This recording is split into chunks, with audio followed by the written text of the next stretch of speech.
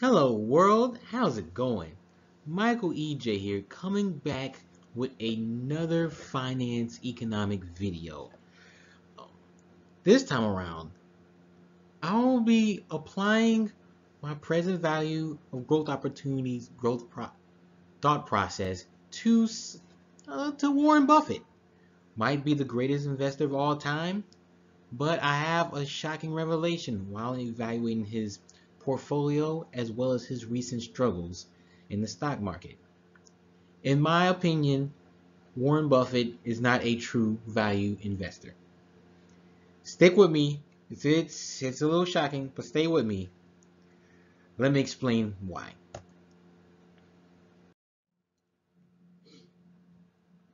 So, while looking up a little bit more about Warren Buffett and some of his recent changes in his style, I came across a paper called Buffett's Alpha. Um, it's from three authors who are all at AQR Capital Management. By the way, my favorite investor of all time, Cliff Asness, he was part of that starting up process and he's one of the lead people there. And I love the research they come up with. Really wish people would pay more attention to it anyway, eh, there was a paper called Buffett's Alpha, and they essentially evaluated and analyzed Buffett's portfolio from 1976 all the way to 2011. And they made a few observations as to why Warren Buffett had abnormal returns. He was out he was outsmarting the, the stock market essentially. And the outperformance came from low beta stocks. Remember, the market beta or average volatility or risk for the market is one. So if you go below one, you essentially have less risk, a lower expected return, but as we've seen, that doesn't always that's not always the case. So low beta stocks, cheap stocks, so there goes the value component, buying stocks that are cheaper, and higher quality stocks stocks that are more profitable, little to no debt, very efficient with assets, high returns on investment. To take it a step further, Buffett's performance is further magnified by his use of leverage. Remember, uh, Berkshire Hathaway kind of operates. I mean, they have a, little, a few holdings that are insurance company. I mean, Geico, for example, and that extra money that's that's essentially waiting. You have to do something with the with the cash uh, for insurance. You just can't take in all those premiums and just let it sit there. And he he kind of used it to further leverage his positions, and looks like probably the ones he had the most confidence about. And something else, Buffett's outperformance has dwindled over time as Buffett has apparently changed his style. So why is Buffett struggling now? If you look at his past returned over the past five years, and actually if you look at value versus growth over the same time period, what you notice is value is losing, growth is winning. And Buffett's portfolio is kind of showing the same light. Now, there might be other reasons. Two that I've thought of, and one that was actually pointed out in Buffett's Alpha, is less quality and low beta stocks and more traditional value stocks. So Buffett is focusing more on pure value stock picking and not paying as much attention to the risks that's involved, at least market risk. And he's paying more attention to private companies, uh, more private deals. We've seen that he's getting got a little bit more interested or a little bit more involved in the private equity space. Um, I think that's partly because of the preferred dividends he received, but yeah, th that's kind of thing that's been going on. Now, just take a step back from my previous video, uh, my first explanation for the PVGO thought process. You need to remember why a firm will have a low valuation in the first place. There's two reasons. Either the company is extremely risky, as in this distressed, near bankruptcy, highly levered, or the company has low, very low growth expectations. Usually it's a more mature company, profitable, maybe more efficient. but you don't see the growth. It's not a clear sight for the growth. And when I say growth, I mean revenue growth. That's usually what um, investors talk about when focusing on growth, um, growth investing. So is Buffett going back to his ways of deep value investing? I thought he went away from that.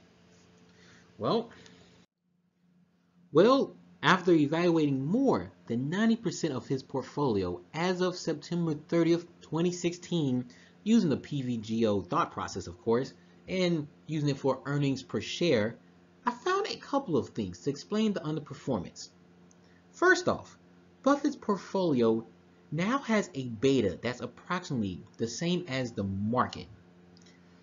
Looking at both the average and median numbers, they show that Buffett's portfolio has approximately the same volatility and risk as the market itself. Now to take it a step further, I accounted for other key factors for defensive investing, which is low asset growth, high profitability, and some dividends, and found that these factors decrease the discount of his portfolio, the discount rate for, of his portfolio by approximately 50 to 70 basis points, or 5 to 8%, which is marginal. This leads to a slightly below average risk than the market. So in terms of discount rates, market average discount rate, if you're using um, CAPM, using Aswath Damodaran numbers, it's around 8%. Well, market risk premium, you got 6% equity risk premium plus a 2% risk-free rate. There you go, 8%. and we use that as a discount rate for the market. Buffett's portfolio discount rate, if you take all his holdings into consideration, and some of the adjustments I made, it's closer to 7.5%. So slightly less than the market. It's very comparable. But that's kind of the problem if you just take the beta from Buffett's Alpha, the the, um, the research um, that was done over his past holdings, and you replace that beta from 1, you replace it with 0.8, real, realize that's about 20 to 25% reduction in risk, in volatility, brings the discount rate just on that adjustment alone from 7.5% to 6%. Well, that's just to put that all into consideration, at 6%, if I do all the calculations all over again, the growth expectations for all of his holdings is zero. Zero, as in there's no expectations whatsoever. Whereas now, growth expectations over the immediate future, maybe the next three to five years, is closer to six to seven percent, which is still less than the market, which is good. That's the whole purpose of defensive investing, take lower risk, and that's the whole purpose of expectations investing. Don't don't move the market. Have have lower expectations. It's all about lower expectations. But it's one thing to have zero expectations and slightly grow versus have little expectations and have to grow as fast as the market. All of Buffett's holdings um, from Wells Fargo, Coca-Cola, IBM, uh, DaVita, Goldman Sachs, Walmart. These are all companies that you would expect to grow slower than the overall market. And the way his portfolio is set up, they, they will probably meet those expectations of growing slower than the market, but not exceed. They won't exceed those expectations. They're not going to grow faster than the market. Versus what he did in the past, and probably not knowing so, he was his portfolio was set up to there was no expectations built in. So a little bit of growth would have took all the performance there. It's all all abnormal returns from there. So that I think that's the explanation to why Warren Buffett is struggling at the moment. In conclusion, in his heyday, Warren Buffett wasn't a value investor. He was primarily a defensive investor with value as his secondary factor. And when I say defensive, I mean low beta investing, essentially picking companies with less risk, higher quality investing, and in my opinion, low expectations investing.